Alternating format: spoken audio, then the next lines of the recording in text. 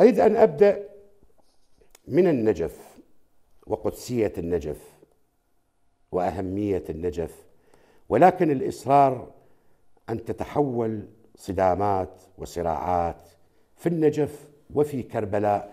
هذا شيء لم نشهده من قبل.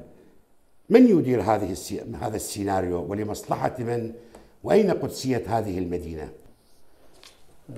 حقيقة ما حدث في النجف وكربلاء والناصرية والبصرة وغيرها من المحافظات المنتفضة الثائرة.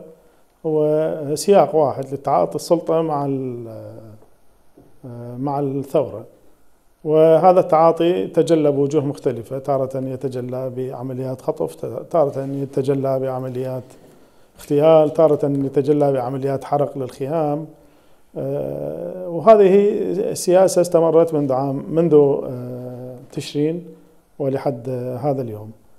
ما حدث في النجف هو جريمة غير مغتفرة وجريمة بشعة جدا وكانت هي خارج السياقات الطبيعية. لم تحدث هكذا جريمة في النجف منذ آه، بداية شعلة الثورة ولحد الآن. إحنا طالبنا بتحقيق آه، واضح وشفاف آه، في أكثر من مرة.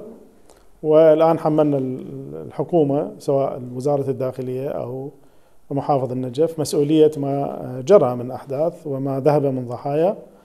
ونطالبه بكشف الحقائق للمجتمع النجفي.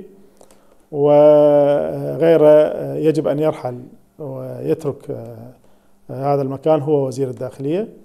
باعتبارهم المتسببين الأساسيين في حدوث فراغ أمني كبير آه، تخلله دخول هذه المجاميع المسلحة إلى ساعات التظاهر. وحدث ما حدث من جريمة آه، نكراء أدينت دوليا وأدينت آه، محليا وأدينت حتى المرجعية الدينية أدانتها بشكل واضح وصريح في خطبة الجمعة السابقة.